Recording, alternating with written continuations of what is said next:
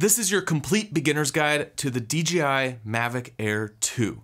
Whether you're a first time flyer or you've flown drones before, this is gonna go through everything you need to know on the drone, on the controller, in the app, and just some things to think about to be able to get better footage out of this drone.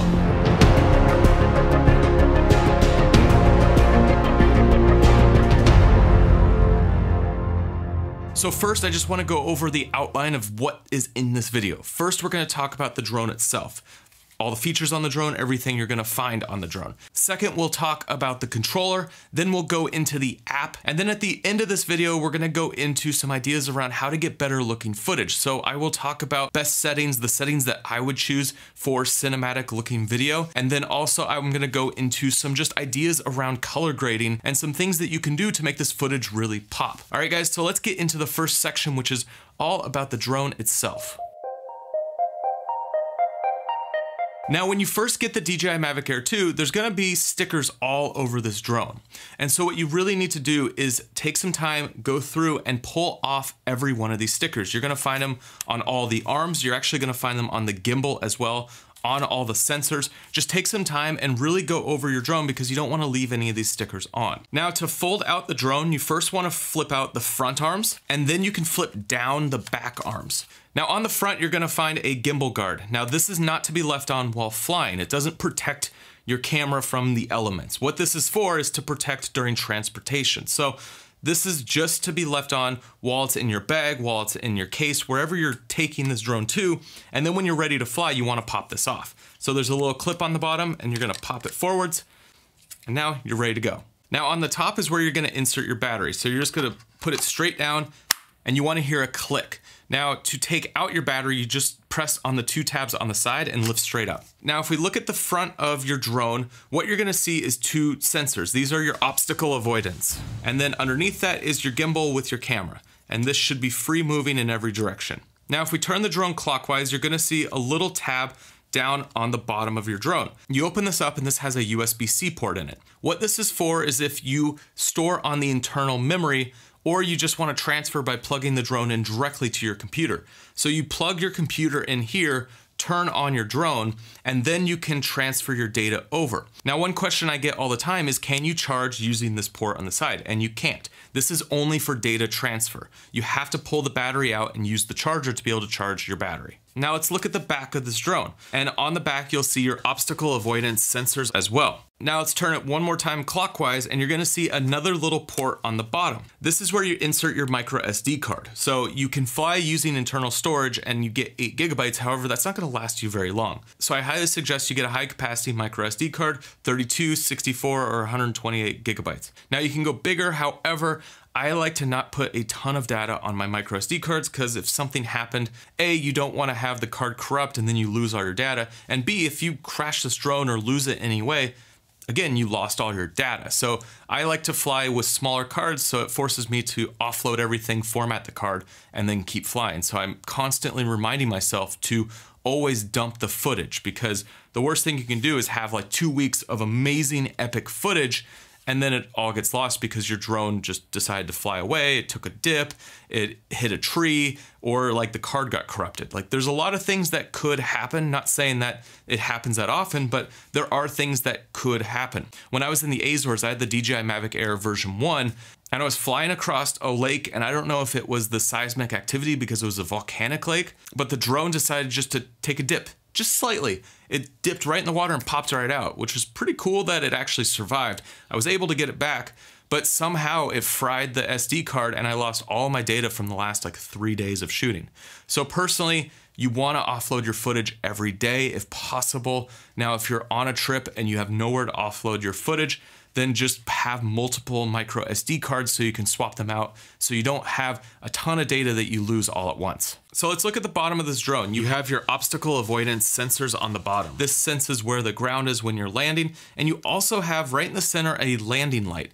Now this is awesome because at night or closer to sunset, when you're bringing your drone back and you wanna land, this illuminates and it shows a pool of light so that you could see where your drone is landing to make sure that it's safe for it to land.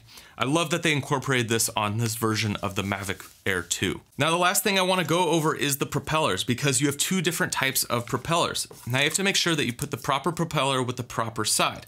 So on each propeller, on the top of them, you'll see this little ring around the center. One is black and one is kind of a white grayish. And so you want to line up the white grayish one with the white side and the black one with the black side. This is because there's two different styles of propellers. And if you don't have it on the right side, it's not going to fly properly. So to put on your propellers, you line up the little tabs with the hole, you push down and you twist. And then what you want to do is just hold the motor and give it a little twist. Make sure it's on properly. You don't want one of these falling off. Now what's cool about DJI is in the app when you start flying, they actually remind you of this. There's a little pop-up that comes up right before you fly. You can turn this off. However, it's just a good reminder because you need to make sure that these are on properly before you actually take off and fly. Now, the last thing you need to understand about the body of the drone is how to turn it on.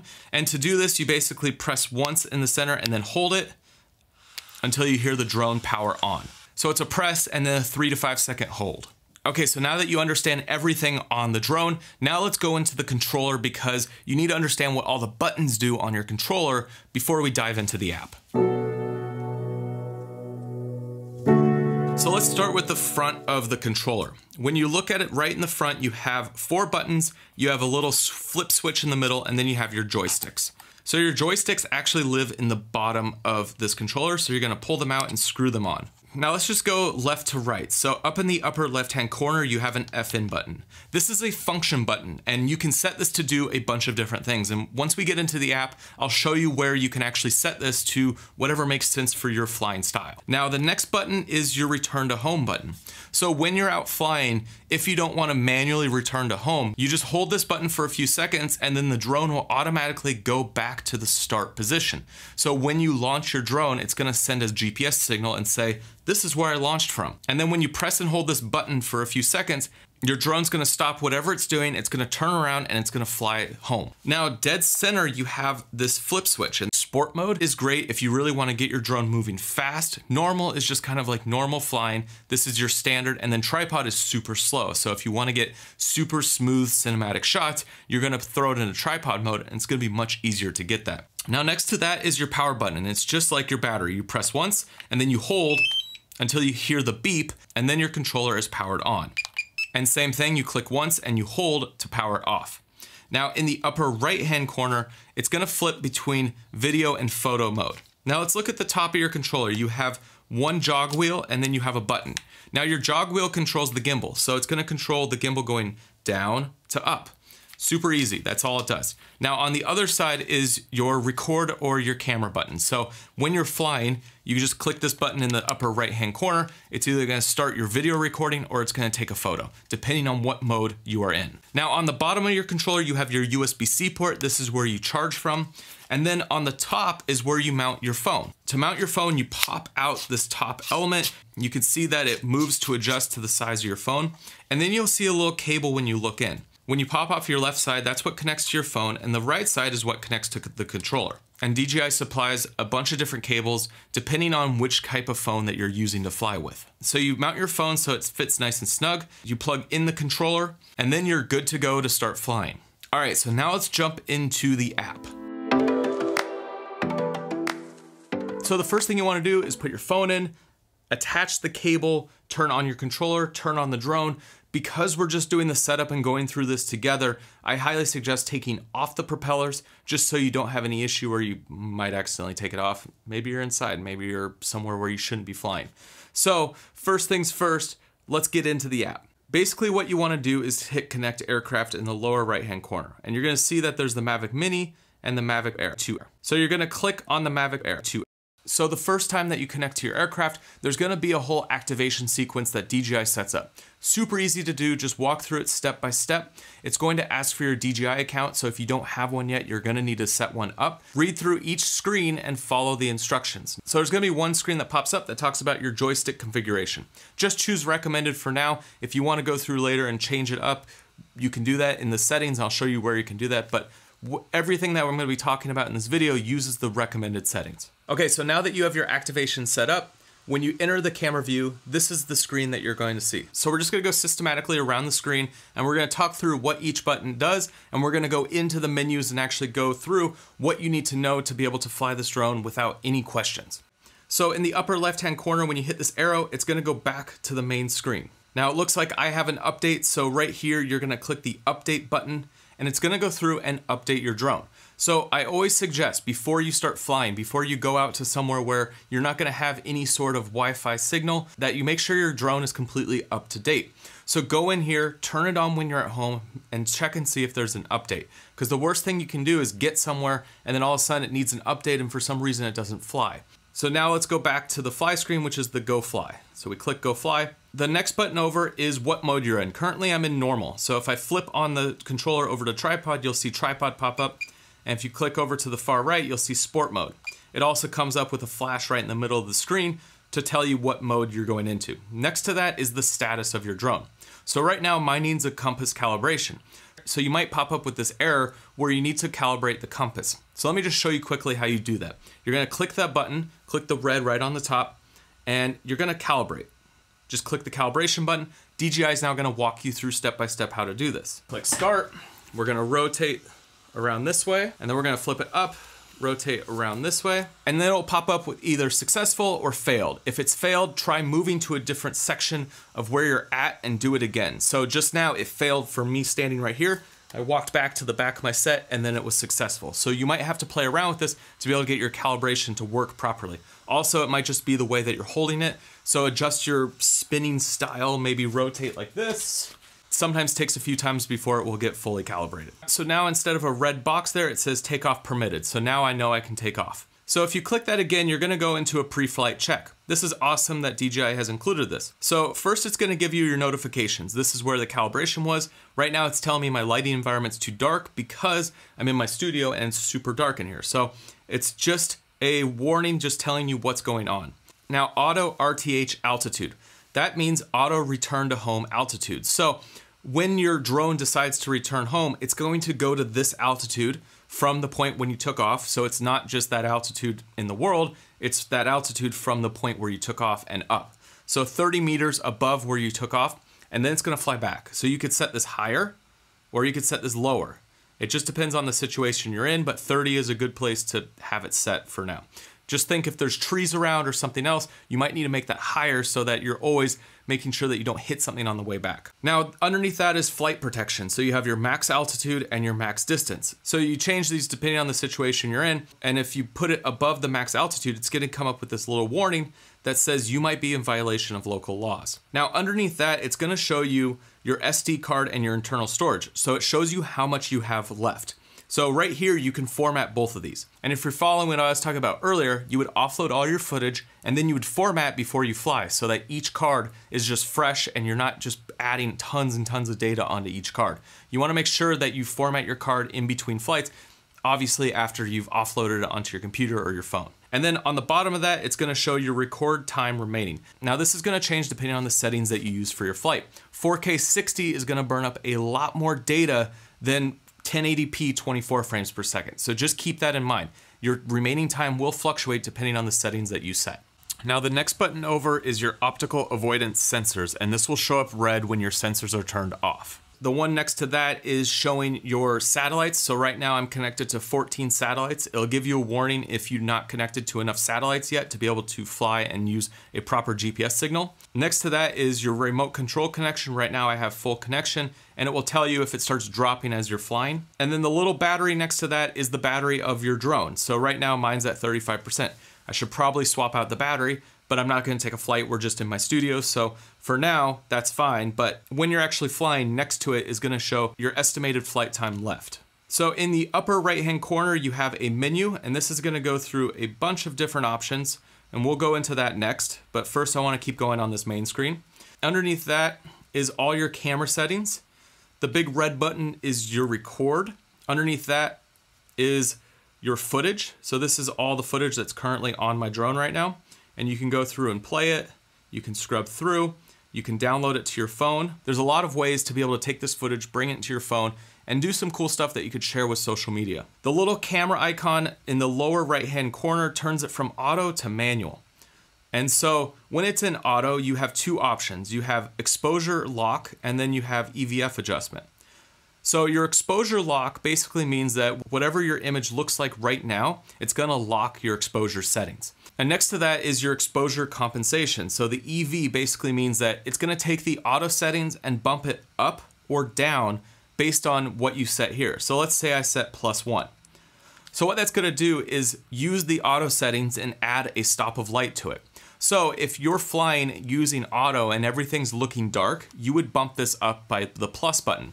And the same thing, if you're flying and everything's looking very overexposed, then you'd bring this down and basically it's gonna take the auto settings and adjust the baseline. So what it thinks auto is, it's gonna now make that a little bit darker. Now let's flip it into manual. So you click that little button in the lower right hand corner and now you can adjust your shutter manually. You can adjust your ISO and it's gonna give you a little indication in the lower right hand corner whether it thinks that it's too dark or too bright. So this little m.m, the camera's metering what it thinks the exposure is and then telling you you're 2.7 stops under what the camera thinks you should be filming at. So this is just an indication to say, oh, I'm filming a little bit darker or I'm filming a little brighter than what the camera thinks I should be filming at. Now dead center is a little indication of where the aircraft is in relation to the controller.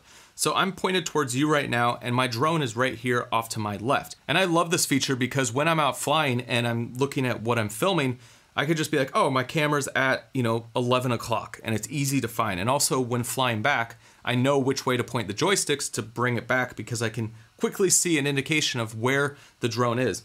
Now next to that is your distance and your height. So this is just your indication of how high your drone is and how far away your drone is.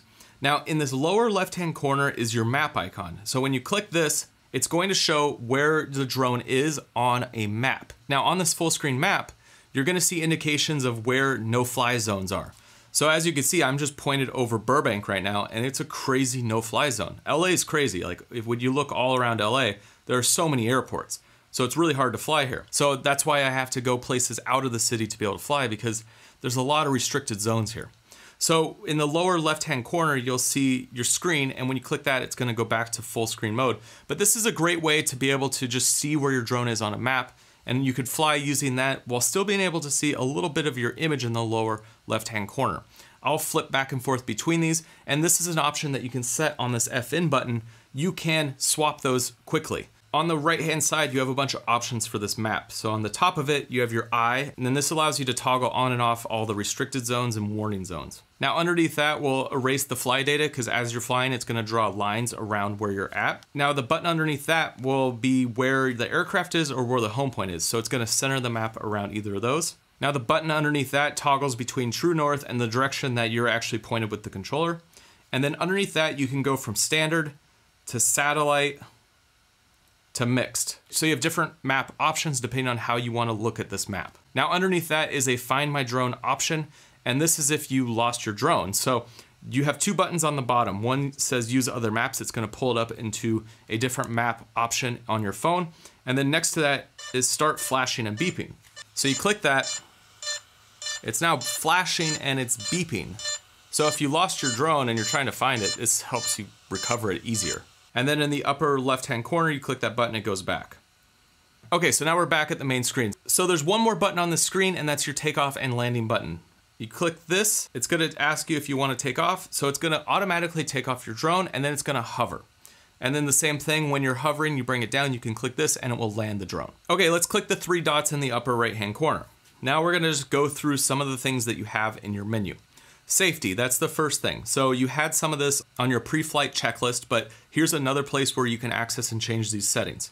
So max altitude, max distance, auto return to home altitude. You can update your home point here. Underneath that is flight assistance, and you have two options. You have obstacle detection, so that's the sensors that are around your drone to make sure you don't run into something, and then advanced pilot assistance system, APAS. Underneath that, you have your sensors, you have your compass. This is where you can calibrate it if you want to do it manually. IMU, this is another thing that you can calibrate. You're not going to need to touch these unless it gives you a warning up front and it says you need to calibrate this and it will pop up with that warning. Underneath that, you have your auxiliary LED, so mine's set to auto. When you click the on button, there it is, nice and bright. It's going to illuminate wherever you're at, and then you can set it to off if you don't want to use it. I just left mine set to auto, but if you do want to switch it on and off here, this is where you can do it. Underneath that is an option to unlock geo zones. Now underneath that, you have your advanced safety settings. So in this menu setting, you have signal lost and emergency propeller stop. So with signal lost, this is just telling the drone what to do if you lose contact with your controller.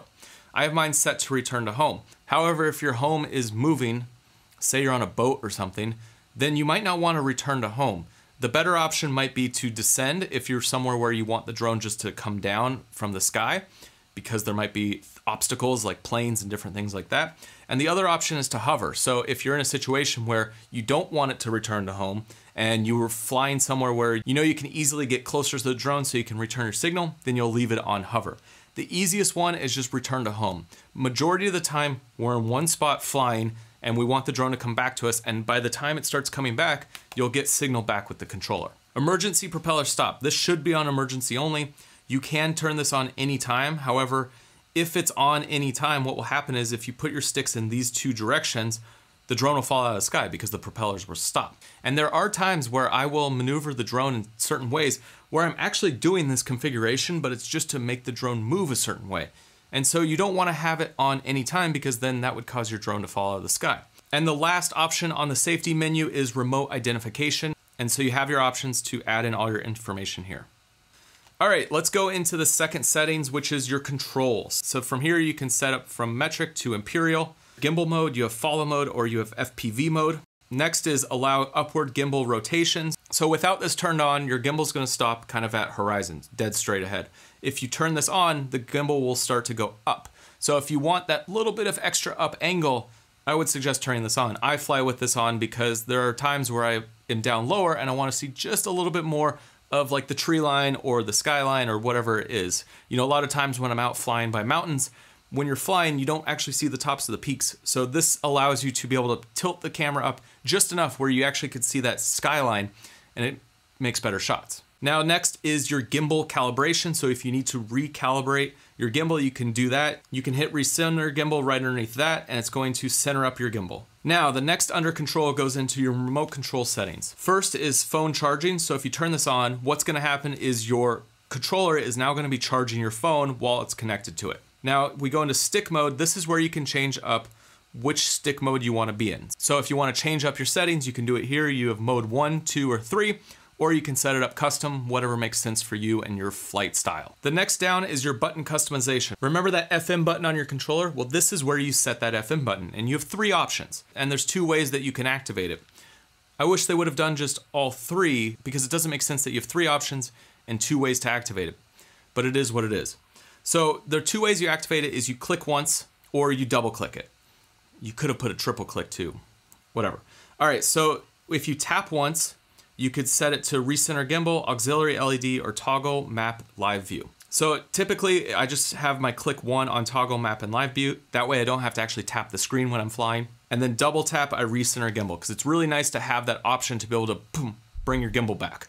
Now, if you are flying later at night, I might go in and change the setting to the auxiliary LED just so you can flip that on and off easily. You might be out flying and you just wanna see where it is, pop it on, boom, it's a bright light in the sky. Now underneath that, you have your RC calibration. You're not gonna need to do this unless you're having issues with your controller. And then last on the control setting is your flight tutorial. So highly suggest if you're a new flyer, you go through this flight tutorial. DJI is gonna give you some more information on how to be a successful flyer. Okay, next menu setting is all about your camera. So first is your format, whether you're gonna shoot MP4 or MOV.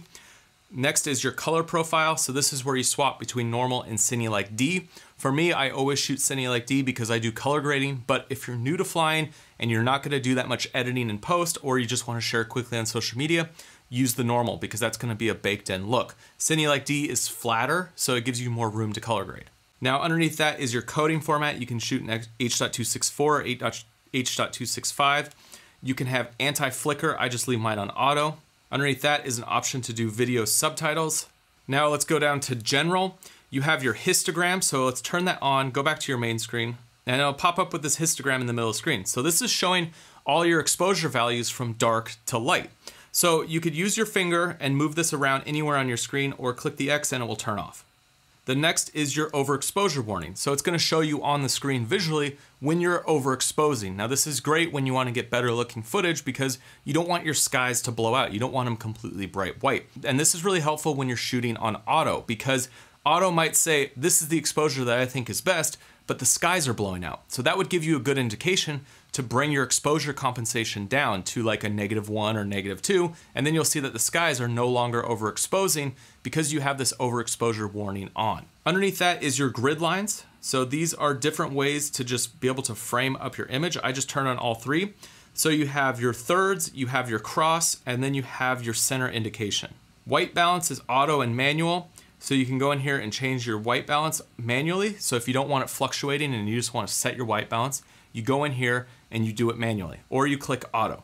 Now the next option is to auto sync HD photos. That's gonna bring it onto your phone. And then again, just like the pre-flight checklist, you have your internal storage here. And then cache while recording. So if this is turned on, basically it's gonna be recording another version of the video because all the video's on the drone itself. So this cache recording basically records what the controller is seeing, minus all of the you know controls around the image. So this allows you to store a version of the footage that the phone is seeing. And underneath that, you have max video cache capacity. So what happens is once it hits the max capacity, it's going to start deleting the old files automatically. And you, on the bottom, you have reset camera settings, and this is a factory reset. Next menu option is about your transmission. So you could do definition, normal or HD, I fly with HD. Your frequency, you can use 2.4, 5.8, or dual band. Underneath that, you have your channel mode, whether auto or manual. I just leave it on auto. And that's all you have on transmission. So if you're having issues with your transmission, you can go in here and tweak your settings a little bit, but you know, I've had no issues with the factory settings, so I just leave them as is. Now on the last tab, you have your about, and this is all your information about the drone.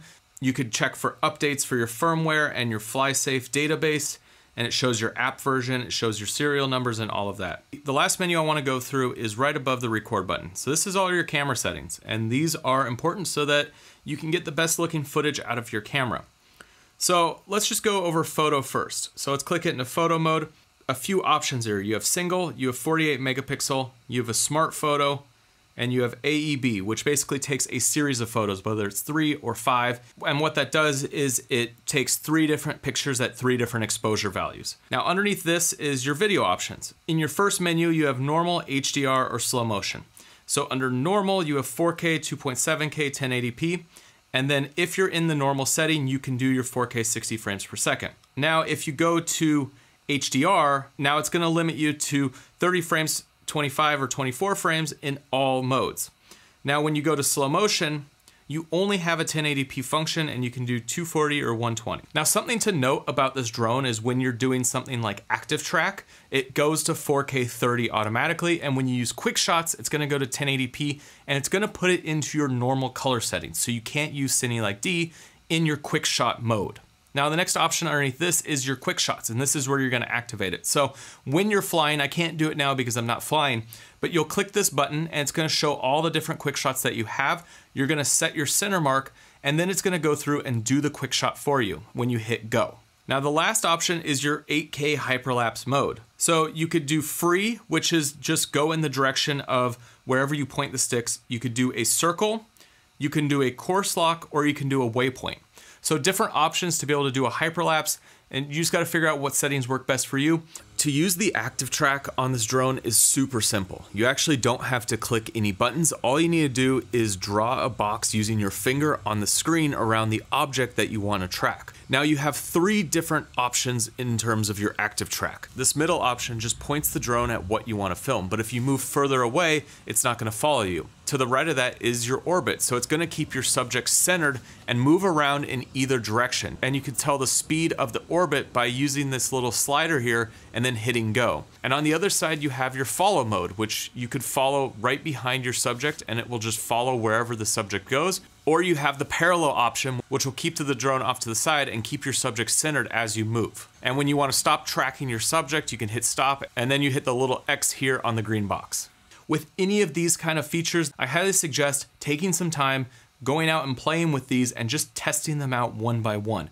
Really go through and understand what each one does before you try to get in a situation where you're like, hey, I wanna get a hyperlapse out of this really cool scene, but you don't know which one's gonna make it look the best. So really take some time and practice with these modes because once you have an understanding of what everything does, then it's gonna be much easier to get better footage when you're out flying and you're in some really cool situations. So, a couple notes for your first flight. One is you want to have a full charge on your battery of your drone and also of your controller. You also want to have your phone at full charge so there's no options for something to drop out. Now, next is you're to want to put your propellers on correctly and make sure they're all tight. Put your drone somewhere where it can easily take off and land. And then the first thing that you want to do before you even start flying and getting those cool shots is take the drone up, let it hover for like 30 seconds and then land it.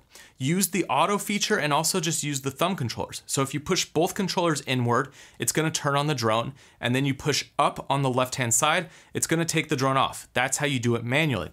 Auto, you go in the menu system, you click the auto button, and it's gonna auto take off. Let it hover, now do the same thing in reverse. Use the auto setting to land it, Okay, great. Now bring it back up. Now use your sticks to land it. To land your drone, all you have to do is pull down on the left-hand stick controller.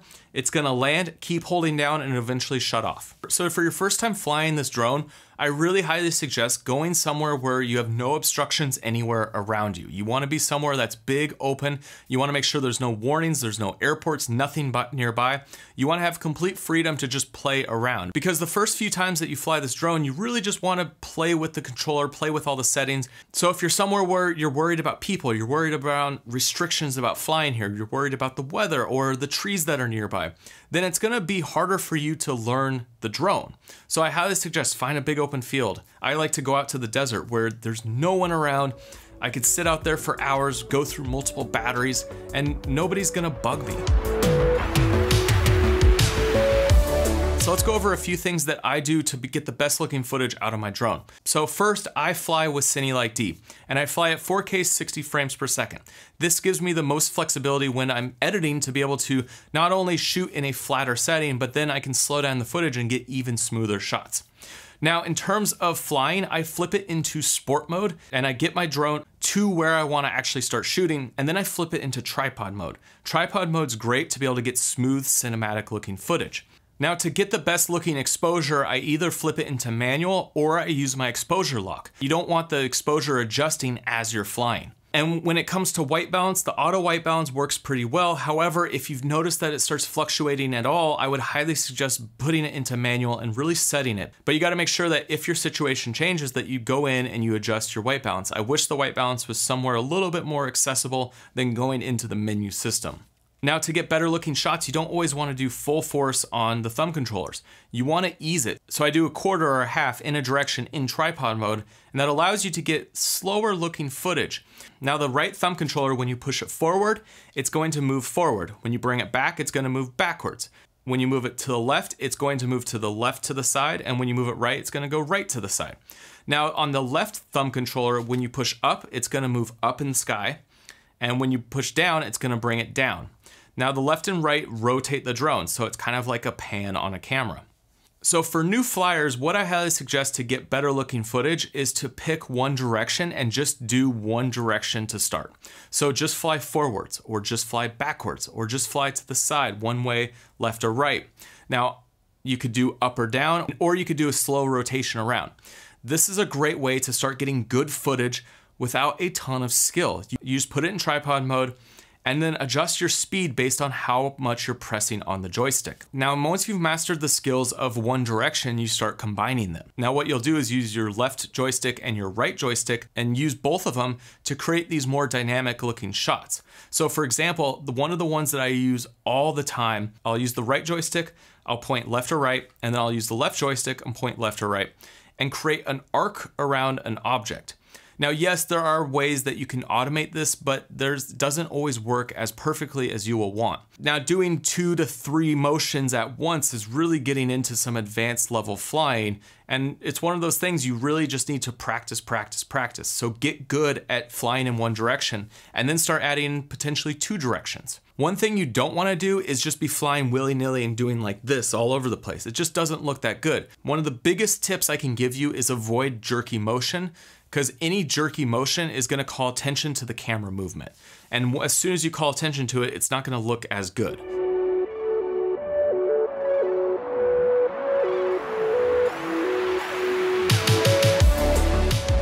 So let's dig into color grading and I'm just gonna briefly go through some ideas around color grading. And if you wanna dig deeper into this, I'll put links down below in the description to my full color grading tutorials. And I have a few that I've done around the Mavic Mini that apply to this as well. And you can do some pretty cool stuff with the color grade. So when you're shooting Cinelike D, you're gonna get a flatter setting. So that means there's less contrast and there's less saturation. So the first thing that you're gonna wanna do is add contrast. And then you're gonna add some saturation. Now, what you don't wanna do is add so much contrast that your whites blow out. Ideally, when you're shooting Cinelike D, the goal is to preserve your highlights, but also preserve the darker elements of your video. That way you can do some different things with color grading so that you can see more of your image. Now, just doing these tweaks from contrast to saturation, your footage is gonna look great already.